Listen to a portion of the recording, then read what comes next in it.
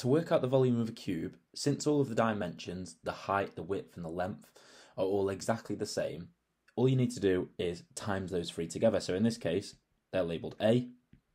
They're all exactly the same, so we're going to do A times by A times by A, and that will give you the volume of a cube. Of course, you can simplify this down to just A cubed. The volume of a cuboid is a little bit trickier, but you still calculate it in a very similar way. Again, you're going to times together the height, the width, and the length. So in this case, we've got A, B, and C. So we're going to do A times B times C, which we can't really simplify down too much, but we can just say ABC. So volume of a cube, you just do the side length cubed. Then for the volume of a cuboid, you just do the height times by the width times by the length.